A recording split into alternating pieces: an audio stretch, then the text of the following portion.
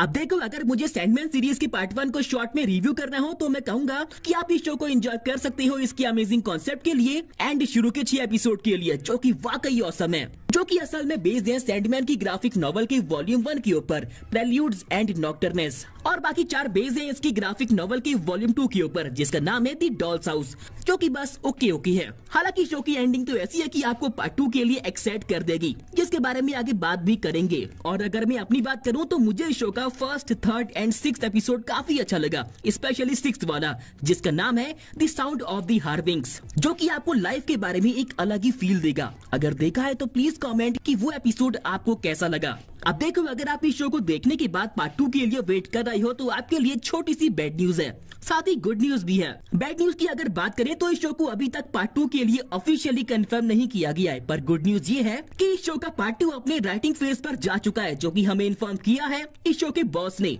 जो कि मे भी इस बात की ओर हिंट करता है कि आगे चलकर ये प्लेटफॉर्म इस शो को पार्ट टू के लिए रिन्यू कर सकता है। मे भी इस इवेंट के अंदर जिसका नाम है टूडूम जो कि आपको देखने को मिलेगा ट्वेंटी फोर्थ सितंबर 2022 को।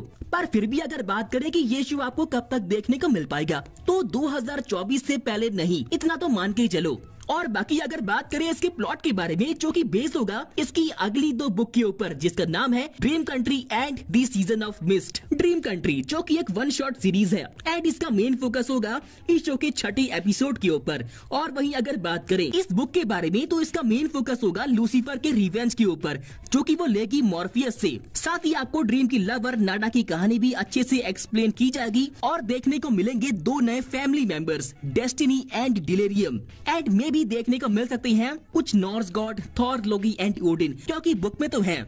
और बाकी आप में से कौन कौन इस शो के पार्ट टू के लिए वेट कर रहा है तो नीचे hashtag the Sandman comment करना मत भूलना। और फ्यूचर में इसके बारे में जो भी अपडेट निकल के आएगी मैं आपको इन्फॉर्म कर दूँगा। तो बस फिर आज के लिए इतना ही, और अगर वीडियो अच्छा लग गया हो तो लाइक सब्सक्राइब एंड शेयर जो की आप में से कुछ लोग तो करते हैं और कुछ नहीं करते तब तक के लिए बाय बाय टेक केयर जय हिंद, जय भारत।